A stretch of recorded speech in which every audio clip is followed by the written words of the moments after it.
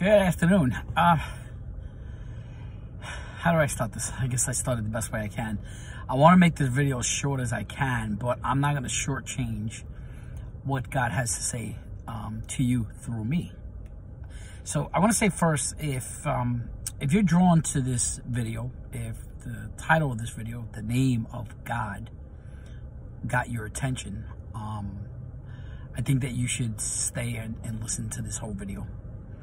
It's very, it's crucial. And for those of you who already have a relationship with Jesus Christ, I pray that you also stay to the end. Um, the Lord spoke to me this morning, so much so that I always pray before I dive into scripture, and I had scripture open to what I was going to read, which is one of the Psalms, and I prayed, and the way the Lord spoke to me, it's like, I'll explain it. I'll, I'll, just explain it in a little while.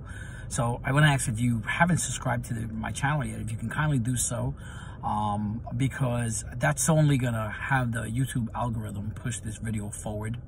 Um, and watch it. Don't just watch a little bit of it, but watch all of it because that's the only that's the way it works. That um, YouTube doesn't push videos that only get a you know a minute or two uh, views. You know, the longer the video and the more the people watch, um, it's sending the YouTube algorithm that this is something that people are interested in and they want to hear, so it pushes it forward. So I want as many people as possible to hear this message. And if you can kindly share with whoever you want, whoever the Lord places on your heart. And again, if you don't have a relationship with Jesus Christ, uh, I, I, urge you right now that you seek him. It's very easy. Um, just say, Lord Jesus, I admit that I'm a sinner. Forgive me of my sins.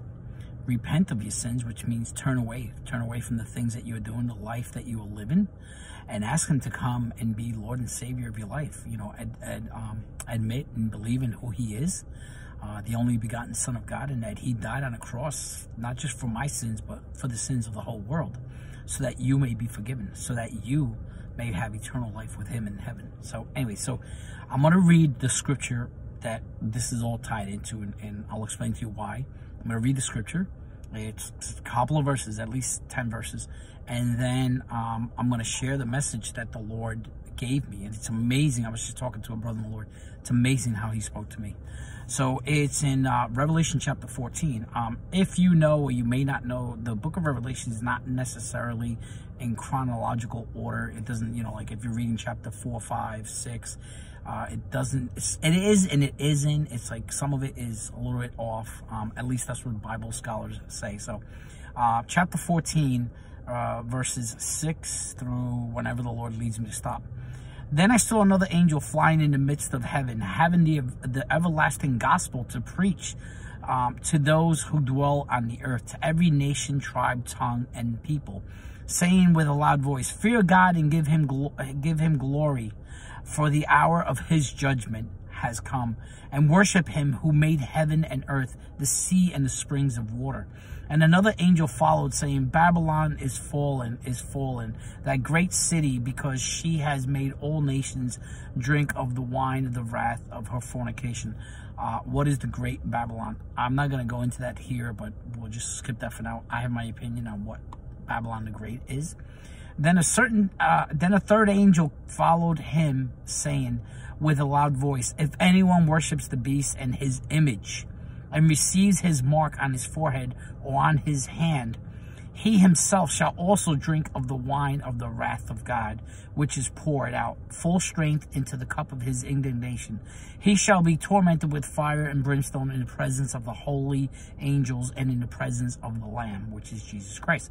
And the smoke of the fire of uh, and the smoke of their torment ascended forever and ever, and they have no rest day and night. This is in hell who worship the beast and his image, and whoever receives the mark of his name. Here is the patience of the saints. There are those who keep the commandments of God and the faith of Jesus. Then I heard a voice from heaven saying to me, Write, blessed are the, uh, are the dead, blessed are the dead who die in the Lord from now on. Yes, says the Spirit, that they may rest from their labors and their works follow them. Then I looked, and behold, a white cloud, and on the cloud sat one like the Son of Man, being Jesus, having on his head a golden crown, and in his hand a sharp sickle. And another angel came out to the temple, crying with a loud voice to him who sat on the cloud, Thrust in your sickle and reap, for the time has come for you to reap, for the harvest of the earth is ripe. So he who sat on the cloud thrust his sickle on the earth, and the earth was reaped. Then another angel came out of the temple which is in heaven, also he also having a sharp sickle. And another angel came out from the altar, who had the power over fire, and he cried with a loud cry to him who had the sharp sickle, saying, Thrust in your thrust in your sharp sickle and gather the clusters of the vine of the earth for her grapes are fully ripe. I'm going to end right there. I think there's only more two more verses in this chapter but i'm going to end right there.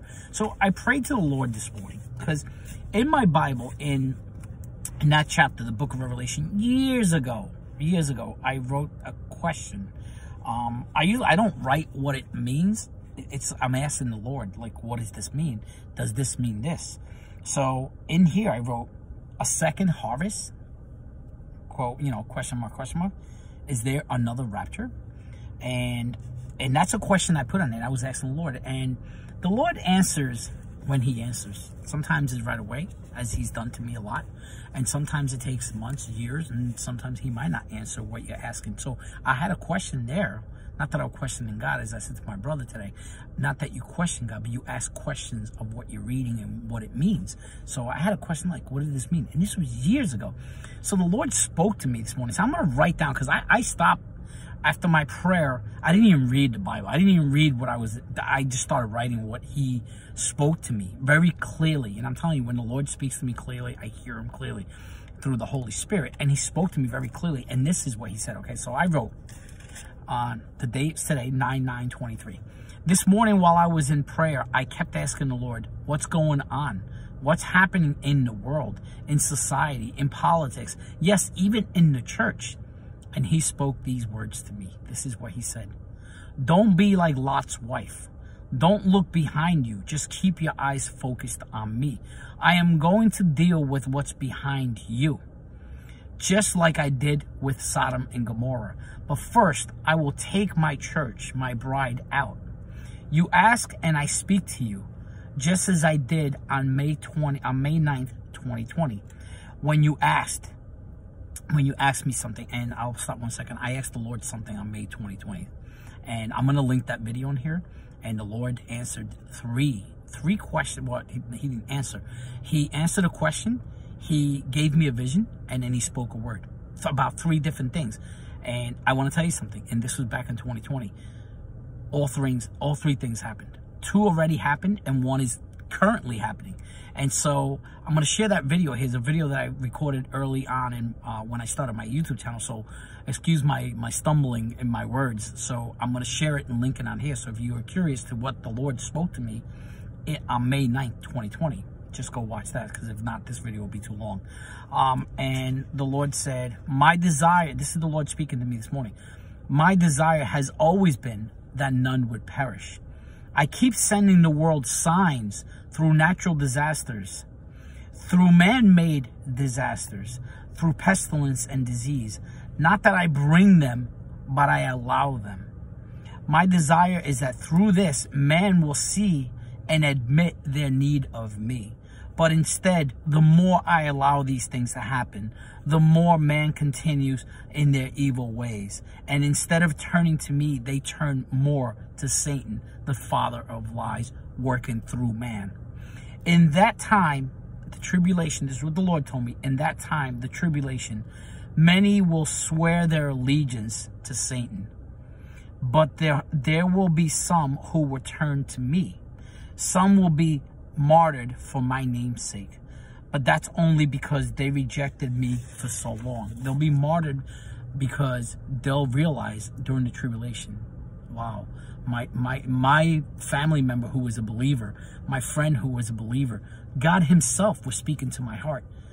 But I was deaf and I was blinded and I, I did not heed his calling. And other and it says, and others I will protect during that time and provide their daily bread. So during the tribulation, there are going to be tribulation saints, tribulation believers. Some will be martyred, unfortunately, and some the Lord will protect and provide their daily bread, whatever it is may be. a cup of water, a piece of bread, whatever it may be, he's going to provide as he does for us today. But I pray that if you don't have a relationship with Jesus, that you don't let it get to that point and you receive him and ask him to come into your life now. And the Lord said to me, but at my second coming, I will pull them out to meet meet us, meaning us, those who are raptured, believers that before the tribulation happened, who were raptured to the Lord. Uh, we will return with him. And Jesus says, I will pull them out to meet us in the cloud pull them out, meaning those who are still alive, those who are being persecuted for his name's sake during the tribulation period. And those who are martyred are going to be the ones that in tribulation it talks about the saints who were martyred, okay? That the blood, he sees the blood of those who were martyred in his name's sake. And it, the Lord continues to say to me, um, and I and I I wrote here, I said, just as Jesus did in his time here on earth, okay, he used he spoke through parables and analogies, using terminology and phrases that the people of his time could easily relate to. The Lord spoke the same to me today. He said, Your job, and this speaking about what I do as a living, your job as a manager has always been to take care of the tasks that are assigned to you. You are to concern yourself with what the owner of or higher up in the company are do you aren't you're not to concern yourself with what the owner or the higher up in the companies are doing or planning. If they are just people, they will be serving they will be serving the best interests of the company. And and by doing so, they are serving the best interests of the workers. Okay? So don't concern yourself too much with what I am doing. You know I'm a just God, serving the best interests of my quote unquote company, my kingdom. So know that by doing so know that by doing so, I am working in the best interest of my workers, the believers. So everything that the Lord is doing is in in in favor, in the best interest of those who believe in him, who surrendered to him. And this is what he spoke to me this morning. I might have missed one or two things to write down, but that's what he spoke to me this morning. So um very briefly, he um just go watch the video that I share on, on the message that he gave me. Uh, it's it's I didn't receive a lot of views because I didn't have a lot of subscribers back then, and I guess people are not interested, whatever it may be. But um, the Lord spoke to me this morning that we as believers were to focus on our work as workers, we're to focus on where we are doing for the company, which is the kingdom of God, okay? And we are to continue working diligently in whatever He calls us to do, whether you think it's something big or something small. Me personally, He's using this channel for, to use me to do one of many things that I do in His name. So um, I just I just pray that you uh, watch watch this. And then on a side note, I was listening to a video this morning about. Um, uh, what was the video about? It, it was a very powerful video. He was talking about explaining the days of Noah. And we know that Jesus in the Olivet Discourse, he says that in the last days that the world will be as it was in the days of Noah and in the days of Lot. And it also talks about the Nephilim. If you know about the Nephilim, if you don't, you should research it.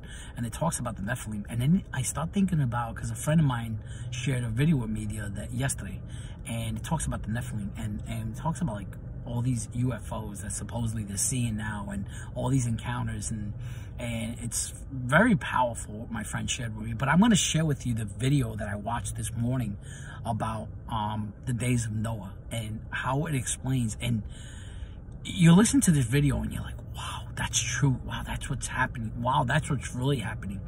And you know, for those who don't have a relationship with Jesus Christ, I you know, the day is going to come where God is going to just stop calling you, where he's just going to stop pulling on your heart. And he's going to give you into the deceptions of this world. He's going to blind your heart and your mind and your eyes, okay? He's going to allow the evil one to grab hold of you because you are denying him, because you're not heeding his call to you. And it just comes to a point where God says, okay, whatever. And he gives them up, as it says in Romans 1. God gives the people up to a reprobate mind, to their own desires and their own flesh. So um, I pray that you would, you know, stop ignoring that call and turn to him and ask him to come into your life. So anyway, that's all I wanted to share right now. Um, and if you share something else, it's amazing. I just love when the Lord speaks to me. And as I said to my friend this morning, it, it's not too often. It's probably, it happens maybe two, three times a year, or whenever he just speaks to me. Sometimes I get frustrated because I ask him and I want to hear things from him. I want to, you know, I want him to speak to me and, and give me revelation of things, and he doesn't. And I get frustrated because I love hearing from him. But you know what's most important that he knows when my mind and my heart is right to receive whatever he wants to tell me, he'll give it to me. And it's not every day. So that's why when I see these people that they every day they're constantly putting videos up. The Lord spoke to me. The Lord spoke to me. Yeah, the Lord speaks to us, but in a profound way like that, it's not every day. It's not every day. So, you know, I, I, would approach those videos with caution. So, anyway, so God bless you. Have a nice weekend, and hopefully, well, hopefully, no, if He leads me to post another video, I will. God bless you, my friends. Take care.